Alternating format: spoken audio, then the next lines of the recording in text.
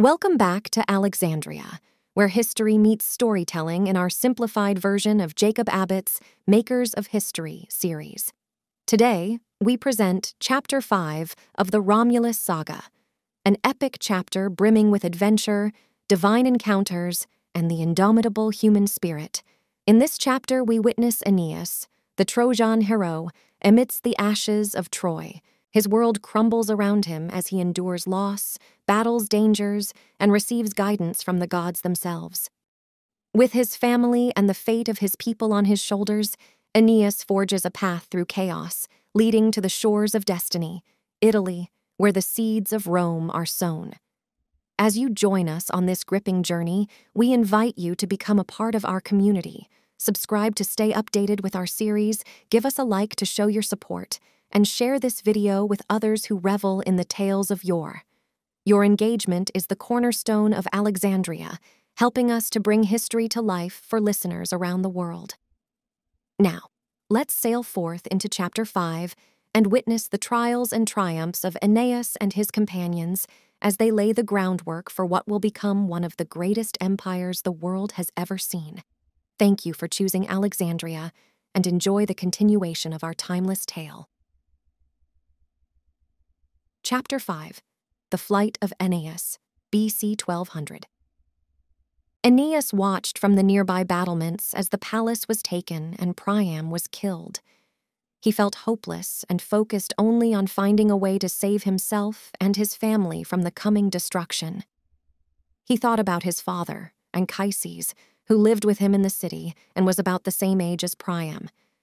He also worried about his wife and young son Ascanius, he feared that the attackers might have reached his home and were possibly looting and destroying it and harming his wife and family. He decided to hurry back home. He looked around to see if any of his companions were still with him, but he was all alone. Some of them had jumped off the battlements and escaped to other parts of the city.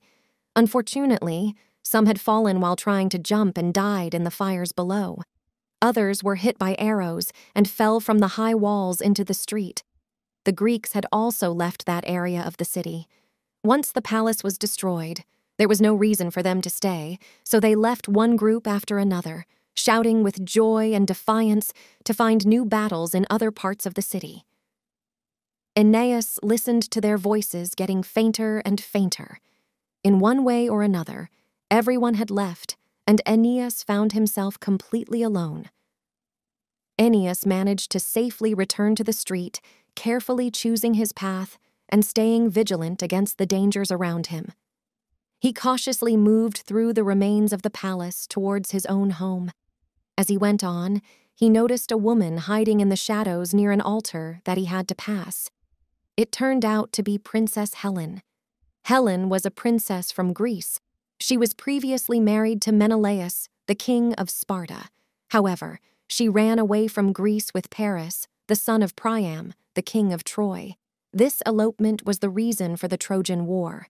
At first, Menelaus, accompanied by another Greek leader, went to Troy and asked for Helen to be returned to him. Paris refused to give her back. Menelaus went back to Greece and organized a big expedition to go to Troy and capture the queen. This is how the war started. The people saw Helen as the cause of all their problems whether she was innocent or guilty, when Aeneas, who was in a very angry mood, saw Helen trying to protect herself from the destruction caused by her actions, he became even angrier and decided to seek revenge by killing her. I will kill her, he thought as he rushed towards her hiding place. It may not be honorable to take vengeance on a woman or to punish her for her crimes, but I will still kill her. I will be praised for this act. After causing ruin to us, she should not escape and return to Greece to become a queen again. As Aeneas said these words, rushing forward at the same time, sword in hand, he was suddenly stopped by his mother, the goddess Aphrodite, who appeared before him.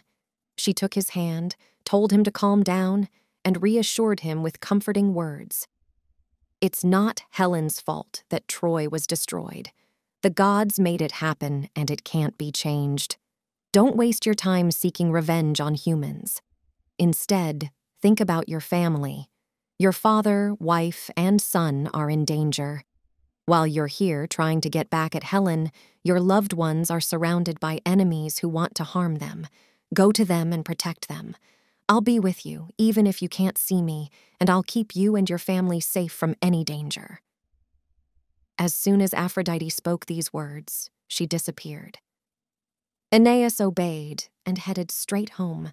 As he walked through the streets, he noticed that the armed bands moving around the city mysteriously made way for him. This convinced him that his mother was truly with him, using her supernatural powers to protect him. When he got home, the first person he saw was his father, Anchises. He told Anchises that everything was lost, and the only option left for them was to find safety by fleeing to the mountains behind the city. However, Anchises refused to go. You who are young, he said, and have a future worth preserving, can flee. As for me, I will not try to save what little remains, only to live in miserable exile if I succeed. If the gods intended for me to live longer, they would have spared my hometown, my only home. You can go, but leave me here to die. In these words, Anchises sadly turned away, determined to stay and face the same fate as the city. Aeneas and his wife, Creusa, pleaded with him to leave, but he refused. Aeneas stated that he couldn't abandon his father and would stay with him. If someone died, he said, they would all die together.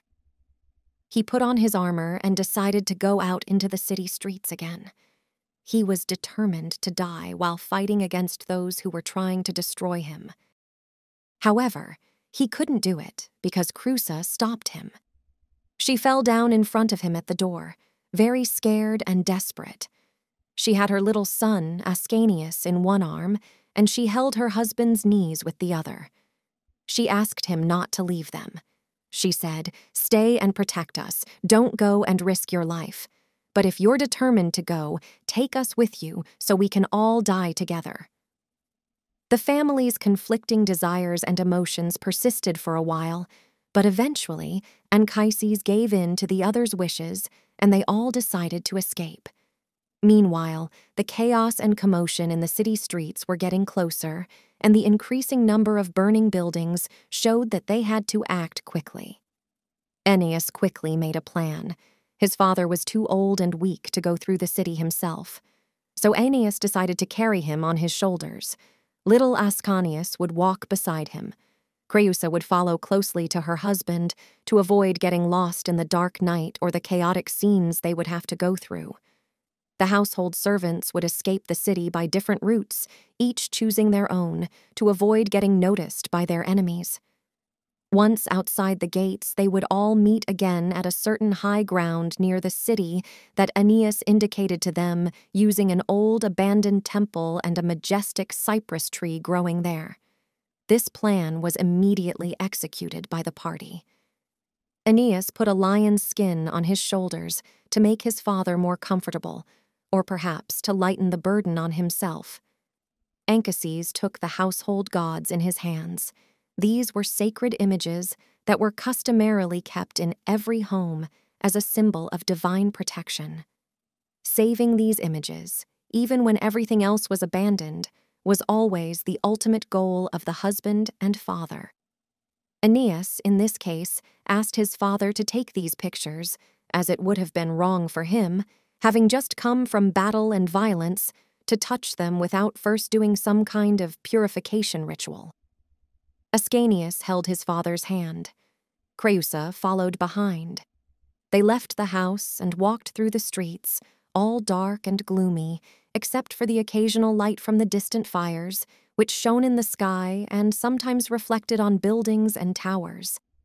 Aeneas continued to move forward, feeling a mix of excitement and fear. He stayed in the darkest areas, sticking to walls and narrow streets. He worried about the safety of Anchises and Creusa, fearing they might get hit by a stray weapon or ambush from Greeks. He knew that if they were discovered, they would all be killed without mercy. Being burdened with his load, he couldn't defend himself or them effectively. The party, however, seemed to avoid all these dangers for a while. But as they were getting closer to the city gate and starting to feel safe, they suddenly heard a loud noise and saw a group of men rushing towards them from nearby streets. The men posed a threat and could easily overpower them. Anchises was very scared when he saw the shining weapons of the Greeks coming closer. He urged Aeneas to run faster or take a different route to avoid the imminent danger. Aeneas was scared by the loud shouts and chaos he heard. The scene made his mind confused for a moment. He quickly ran in different directions, trying to find the best way to escape. Many people were moving in a chaotic manner, which made his escape difficult. Eventually, he managed to find a way out of the city. He kept running without looking back until he reached the designated meeting spot on the hill. There, he gently placed his burden down and looked for Creusa, but she was not there. Aeneas was extremely shocked to discover that his wife was missing. He cried and expressed his sorrow and hopelessness loudly. But then he realized that it was a time to take action instead of just being sad. He quickly hid his father and Ascanius in a hidden valley behind the hill and entrusted them to his servants. After that, he hurried back to the city to search for Creusa. He fully armed himself before leaving, determined to face any danger in his quest to find and rescue his beloved wife. He returned to the same gate he had exited from and re entered the city. He tried his best to retrace the path he had taken when leaving the city using the light from the burning buildings as a guide. He continued in this manner, feeling desperate and distressed, looking everywhere but unable to find Creusa. Eventually, he considered the possibility that she might have returned to their home, believing it to be the safest place for her. Therefore, he decided to go there and search for her. This was his final hope, and he was deeply saddened when he arrived at their dwelling and found that she was not there. He discovered his house, and when he got close, it was completely on fire. The nearby buildings were also burning, and the streets were filled with furniture and belongings that the desperate residents had tried to save but failed.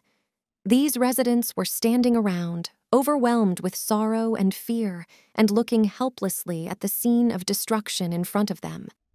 Aeneas quickly saw everything and immediately, in a state of extreme excitement, started calling out Creusa's name. He searched among the people near the fire, desperately asking for any news about her. But it was all in vain. He couldn't find her. Aeneas then wandered through other parts of the city, searching everywhere and asking anyone who seemed friendly if they had seen her. His suspense, however, ended when he suddenly encountered a ghostly vision of Creusa in a secluded area of the city, halting his movement. The apparition was unusually large and appeared in a form that seemed both ethereal and shadowy. The serene and kind expression on its features assured him that this vision was not of our world.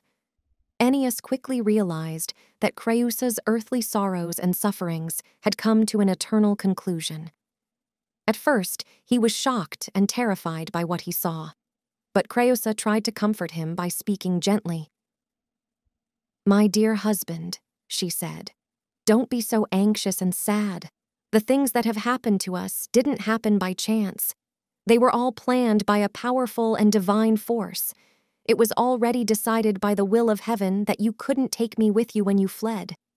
I have learned what your future destiny is, you will have a long and tiring journey, both by sea and land, and you will face many challenges, dangers, and tests. However, you will safely overcome them all and eventually find a peaceful and joyful home on the banks of the Tiber. There, you will establish a new kingdom, and a princess is already waiting for you to become your bride. Stop mourning for me. Instead, be glad that I didn't become a captive of our enemies and get taken to Greece as a slave. I am free, so you shouldn't be sad about what happened to me. Goodbye. Love Ascanius for me, and take care of him for the rest of your life. After saying these words, the vision started to fade away. Aeneas tried to hold on to the beloved image in his arms, but it was not physical and quickly vanished. Before he could say anything, it was gone, leaving him standing alone in the empty and dark street. He eventually turned away and, feeling lonely, deep in thought and sad, he went back to the gate of the city and then to the valley where he had hidden Anchises and his young son. He discovered that they were safe. The entire group then looked for hiding places in the valleys and mountains where they could stay hidden for a few days, while Aeneas and his friends made plans to leave the country completely. These plans were quickly finished. Once the Greeks had left, allowing them to come out of their hiding place without risk, Aeneas had his men build several small boats, equipping them with both sails and oars, as was customary at that time. During the preparations, small groups of Trojans kept joining Aeneas day by day. They came out of their hiding places in the mountains after hearing that the Greeks had left, and Aeneas was gathering the remaining Trojans on the shore. The number of people at Aeneas's camp grew, and as Aeneas expanded his naval preparations to match the increasing number of supporters, he realized that he had a significant naval and military force when he was ready to sail. When the fleet was finally prepared, he loaded provisions onto the ships and boarded his men, bringing along Anchises and Ascanius, of course. Once a favorable wind came up, the expedition began sailing. As the ships slowly moved away, the decks were filled with men and women who sadly looked at the fading shores, knowing that they were saying a final goodbye to their homeland. The closest country reachable from the Trojan coast was Thrace, located to the north of the Aegean Sea and the Propontis. It was separated from the Trojan territories by the Hellespont. Aeneas sailed northward towards Thrace and landed there to establish a settlement. However, he was forced to leave quickly due to a terrifying phenomenon that he witnessed. This prodigy prompted him to hastily depart from those shores. The prodigy was as follows they set up an altar on the shore when they landed and were getting ready to make the customary sacrifices. Aeneas wanted to shade the altar with branches, so he went to a myrtle bush nearby and started pulling up the green shoots from the ground. He was surprised and horrified to see that blood came out from the roots whenever they were broken. Drops of what looked like human blood would come out of the broken part as he held the shoot in his hand and fall to the ground. He was very scared when he saw this thinking it was a bad sign. He quickly prayed to the gods of the land, asking them to protect him from whatever bad thing the sign meant, or at least tell him what it meant. After praying, he tried to pull another myrtle stem from the ground to see if anything had changed. At that moment, though, when the roots started to give way, he heard a groan coming from the ground below, like someone in pain. Right after that, a voice, in a sad and eerie tone, started to ask him to leave and stop disturbing the rest of the dead. What you're tearing and hurting, said the voice, is not a tree, but a person. I am Polydorus. I was killed by the king of Thrace, and instead of being buried, I've been transformed into a myrtle tree growing on the shore. Polydorus was a prince from Troy. He was the youngest son of Priam and had been sent to Thrace to grow up in the Thracian king's court. He had been given a lot of money and treasure when he left Troy so that he would have everything he needed and could maintain his status as a prince while he was away from home. His treasures, though they were given to him by his father as a means of support and protection, ended up causing his downfall. When the Thracian king realized that the war was not going well for the Trojans, and that Priam, the father, had been killed and the city destroyed, he killed the defenseless son to take his gold. Aeneas and his friends were surprised to hear this story and quickly realized that Thrace was not a safe place for them. They decided to leave the coast and search for better opportunities elsewhere. However, before leaving, they performed the necessary funeral rites for Polydorus in a private and solemn manner as was customary at that time. Once these sad rituals were completed, they returned to their ships and sailed away.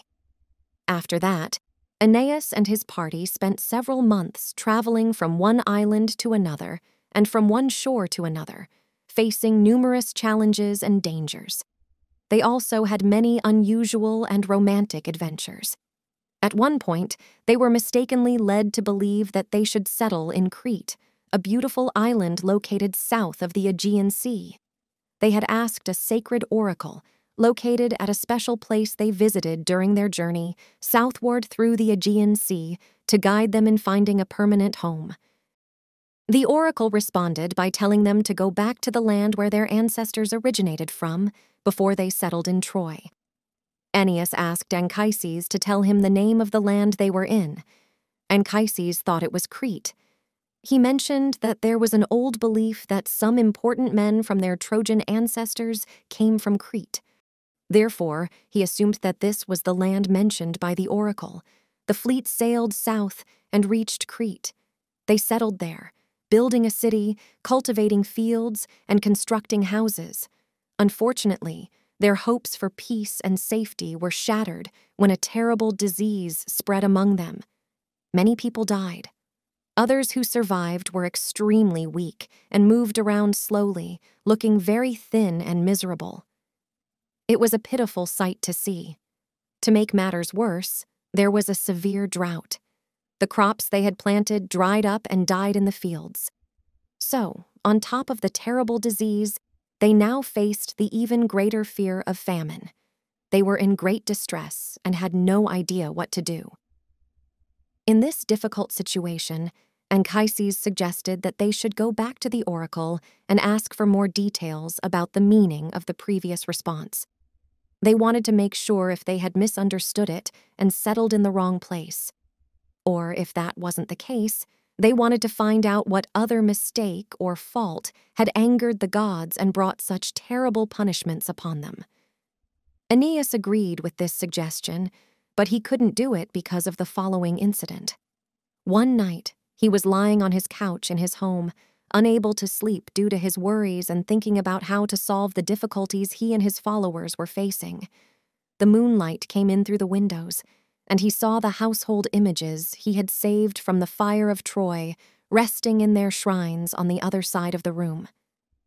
As he looked at these gods in the quiet and solemn midnight hour, feeling burdened by anxiety and care, one of them started to speak to him. We have been sent, said a divine voice, by Apollo, whose oracle you wish to consult again, to give you the answer you seek without requiring you to return to his temple. It is true that you made a mistake in trying to settle in Crete. This is not the land where you are meant to live. You must leave this place and continue your journey. The land that is meant to welcome you is Italy, a place far away from here, and your path to it crosses vast and rough seas. Do not be discouraged, however, because of this or because of the troubles that are coming your way. You will succeed in the end.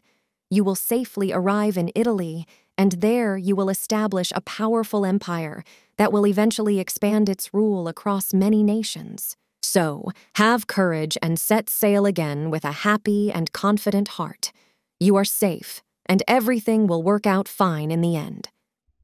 The discouraged adventurer felt much better after receiving this encouragement he quickly got ready to follow the instructions given to him by divine communication. The partially constructed city was left behind, and the expedition set sail again. They encountered many different adventures during their journey, but it would be too long to tell all of them in this part of our story. They encountered a storm that lasted for three days and three nights. They were tossed around without any guidance, unable to see the sun or stars. It was a very dangerous situation, as they were at risk of being overwhelmed and destroyed by the huge and terrifying waves. Another time, when they landed on a group of Greek islands to rest and refresh themselves, they were attacked by the harpies. These birds of prey were extremely large, had offensive habits, and were fierce and very hungry. The harpies were famous in many ancient stories as creatures that troubled and annoyed sailors and adventurers who encountered them. Some believed that there were only two or three of these beings, and they even knew their names. And yet, various narrators provided different names for them, including Aellopos, Nicothoe, Ocythoe, Osipoe, Celeno, Acholoe, and Aelo. Some claimed that the harpies had the appearance of women, while others described them as extremely ugly. However, everyone agrees that they were incredibly ravenous, constantly devouring anything they could reach with their claws. These strong creatures flew down to Aeneas and his group and took away the food from the table in front of them. They even attacked the men. The men then armed themselves with swords in secret and waited for the harpies to come again so they could kill them. However, the quick thieves avoided all their attacks and escaped with their stolen goods, just like before. Eventually, the expedition was forced to leave the island because of these hungry birds. As they were getting on their ships, the leader of the Harpies sat on a rock and insulted Aeneas and his companions with harsh words. The expedition spent one night near Mount Etna, feeling terrified and fearful. They witnessed terrifying smoke, flames, and lava erupting from the mountain summit at midnight. They heard thundering sounds coming from beneath the ground, adding to their fear. They believed that terrible monsters lived beneath the mountains and fueled the fires. All of these experiences filled them with indescribable awe. As soon as morning came, they quickly continued their journey to escape from such a horrifying scene. Once they arrived at a shoreline where there lived a tribe of giants with only one eye. These giants were gigantic and incredibly cruel. They were cannibals, feeding on the flesh of the men they captured. They would grab them with their hands and violently strike them against the rocky walls of their lair. Some men, who were imprisoned by a monster named Polyphemus, managed to blind him while he was sleeping. Although they couldn't kill him because he was huge, Aeneas and his companions saw the blinded giant walking in the sea and tending to his wound he used a tall pine tree trunk as a walking stick. Finally, after a long time and many adventures, Aeneas and his group arrived in Italy at the place that had been shown to them as their destination. The story of the life and adventures of Aeneas, as we have described in this and the preview chapters, is a summary of the narrative written by poets in those times. While it should not be considered as a factual account, it deserves special attention because of its beautiful and poetic language, which has left a profound and lasting impression on the human mind. As we conclude, Chapter 5 of Aeneas's epic journey, we thank you for your company on this voyage through time. Your presence makes the legends of old resonate even more powerfully today. For those of you eager to continue this adventure, stay tuned for the next chapter, The Landing in Latium where our hero's destiny inches ever closer in the historical backdrop of 1197 to 1190 BC. To journey forth, simply click on the video popping up on your screen as this one concludes, or find the direct link waiting in the video description below. If you've enjoyed our time together and wish to explore more stories like this, please subscribe to Alexandria. Every like you leave encourages us and every share extends the reach of these timeless tales to like minded souls. Until we meet again in the next chapter, we bid you farewell. Thank you for supporting Alexandria, where history is always just a play button away.